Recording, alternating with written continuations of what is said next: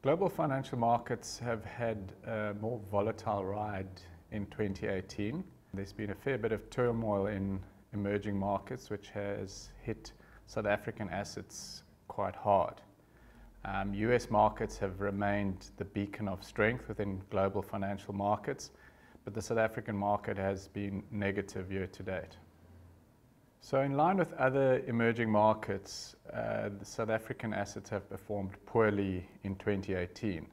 The rand has depreciated. Uh, bonds, after initial rally in the first quarter, have sold off heavily, as have domestic equities.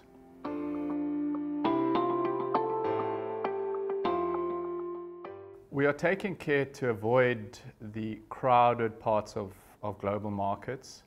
Uh, we think popular stocks are largely very expensive, but we think one of the anomalies of current market conditions uh, is that there are significant opportunities in parts of the market that are out of favor. And here in particular, I reference South African domestic stocks, uh, where companies are very cheap on low levels of earnings, particularly um, mid-cap South African industrials where we're finding great opportunities. And also on a stock-specific basis, there are good opportunities to mine uncrowded areas offshore.